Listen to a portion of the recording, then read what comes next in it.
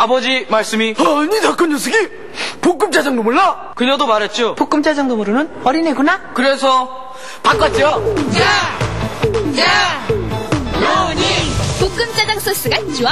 볶음 짜짜로니. 나 판유걸 짜장에 판을 바꾸겠습니다. 이것도 볶음.